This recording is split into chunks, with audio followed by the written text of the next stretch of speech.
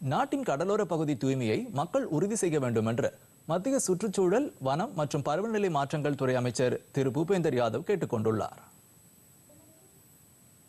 மத்திய சுற்றுச்சூழல் வனம் மற்றும் பருவநிலை மாற்றத்துறை அமைச்சர் பூபேந்திர யாதவ் பல்வேறு நிகழ்ச்சிகளில் பங்கேற்க புதுச்சேரி வந்தார்.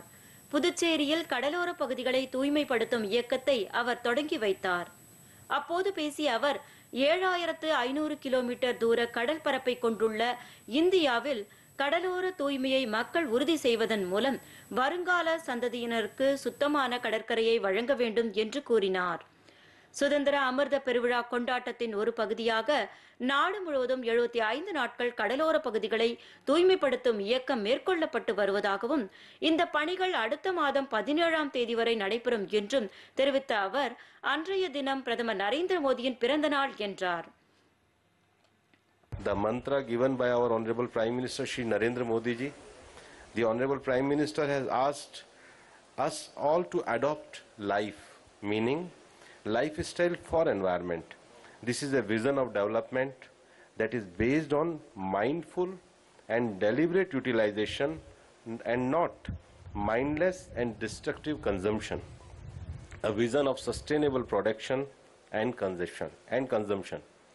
To sum it up, there is no shortage of individual action or green good deeds that we can adopt in our daily lives to save this planet, Earth, and our oceans. I won't take much of your time so that we can all get down to some real action for joining, head to, joining hands to clean the promenade beach தொடர்ந்து புதுச்சேரி பிராமினேட் கடற்கரையில் நடைபெற்ற நிகழ்ச்சியில் கடலோர பகுதி தூய்மை குறித்த விழிப்புணர்வு ஓட்டத்தை கொடியசைத்து தொடங்கி வைத்தார்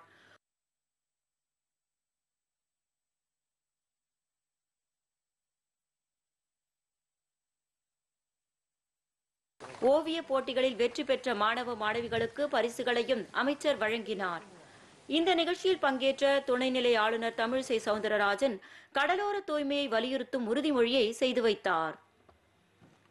நான் கடற்கரையையும் அதன் இயற்கை சூழலையும் பாதுகாப்பதில் முழு மனதுடன் ஈடுபடுவேன் என உறுதி கொள்கிறேன்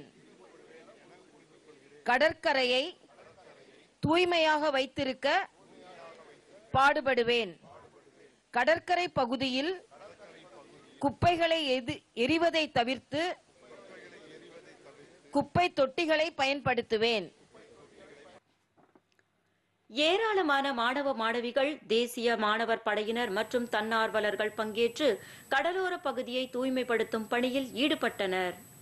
முன்னதாக சின்ன வீராம்பட்டினம் கடற்கரை பகுதியில் நீலக்கொடி அந்தஸ்து சான்றிதழ் பெற்றுள்ள ஈடன் கடற்கரை பகுதியில் நடைபெறும் உள்கட்டமைப்பு பணிகளை அமைச்சர் பூபேந்தர் யாதவ் பார்வையிட்டார்.